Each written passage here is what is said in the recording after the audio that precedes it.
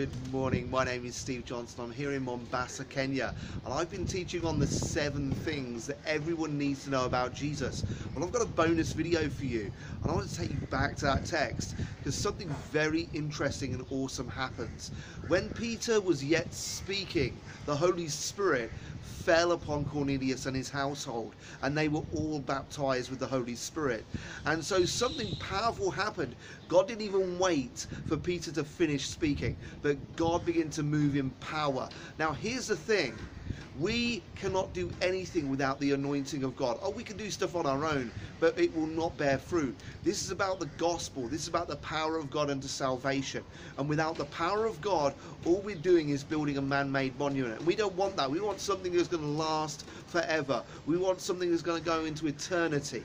And so when we preach the gospel, here's the key thing Peter preached the word of God. He didn't preach his own words, his own opinions, his own marketing techniques, his own perspective. He preached the word of God. And the word of God is what God anoints. Remember, God anoints that which belongs to him.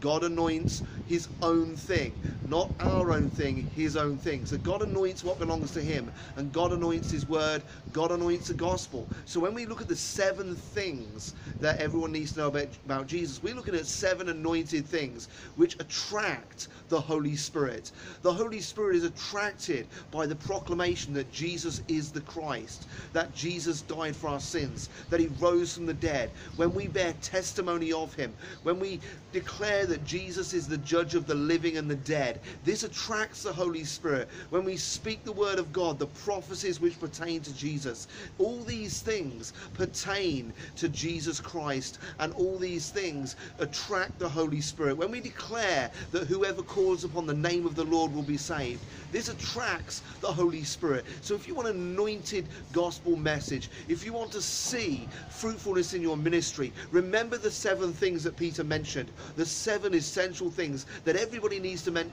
needs to know about Jesus Christ because we need the anointing of the Holy Spirit more than ever before. And we want to see God move in power, God establish his kingdom, and people come into the kingdom. And I want to encourage you in that fact that the Holy Spirit is available and he moves and he is not reticent about anointing his message. God bless you from Mombasa.